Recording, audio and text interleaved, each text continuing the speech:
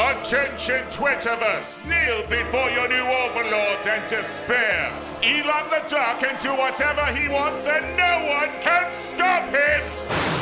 Ooh, except maybe Steve. Brand new Twitter beef Elon Musk against the king of horror, Stephen King. One of the first big announcements that Elon made when he acquired Twitter was that he is going to make the blue checkmark, the verified checkmark, a monthly cost of $20 a month.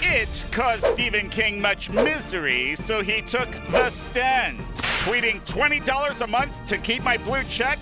That they should pay me. If that gets instituted, I'm gone like Enron. Okay, so Enron was a company that, you know what, doesn't matter. Way to spit a rhyme, Stephen King. I kind of like that. Elon tweeted back at him and said, We need to pay the bill somehow. Twitter cannot rely entirely on advertisers. How about $8?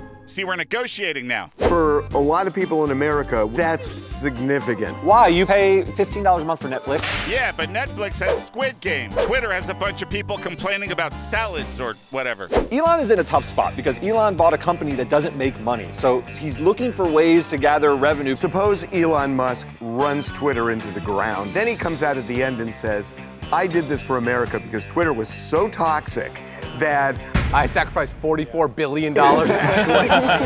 Say what you want, but that'd be a baller move. Thanks, Steve. See you on the Twitter. Maybe.